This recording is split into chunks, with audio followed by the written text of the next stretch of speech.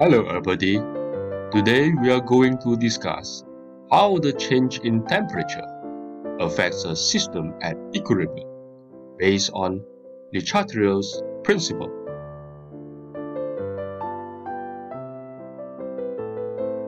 In general, there are two types of chemical reactions known as exothermic and endothermic reaction. A reaction that releases heat in the forward direction is called exothermic reaction.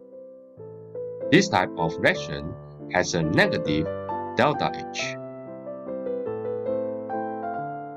Whereas a reaction that absorbs heat in the forward direction is called endothermic reaction. It has a positive delta H. For example, this reaction is an exothermic reaction because the delta H is negative. Therefore, heat is released in the forward direction.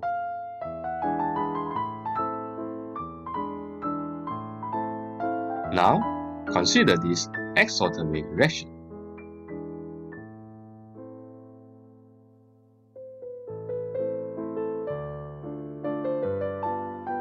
If there is a raise in temperature as the disturbance, by recalling Le Chatelier's principles, the system will remove the disturbance by decreasing the temperature. Thus, the equilibrium position will shift to the left.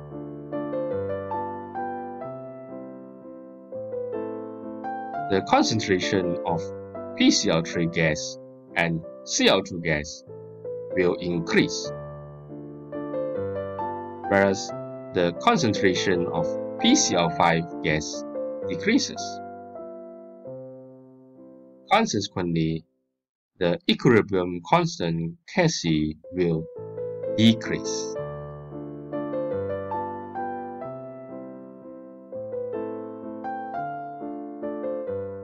If the disturbance is dropped in temperature, the system will increase the temperature to reduce the disturbance. The equilibrium position will shift to the right. Thus, the concentration of PCl5 gas will increase, whereas the concentration of PCl3 gas and Cl2 gas decreases. What happened to the equilibrium constant Kc? It will increase.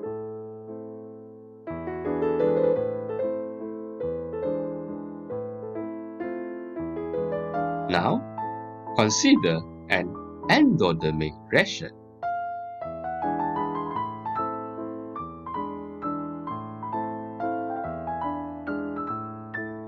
If there is a raise in temperature as the disturbance,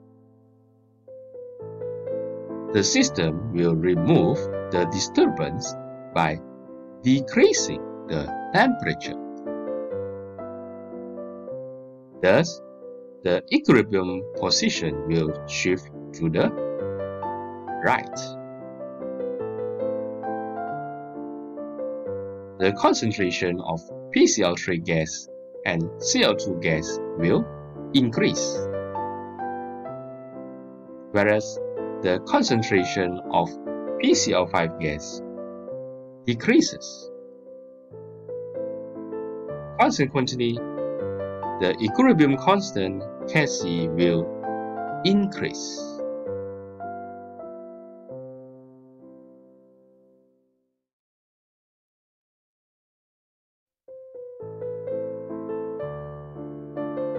If the disturbance is drop in temperature, the system will increase the temperature to reduce the disturbance.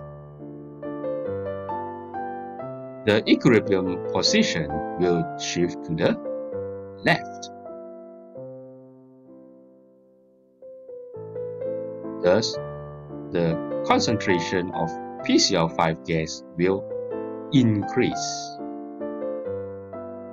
whereas the concentration of PCl3 and Cl2 gas decreases. In this case, the equilibrium constant Kc decreases.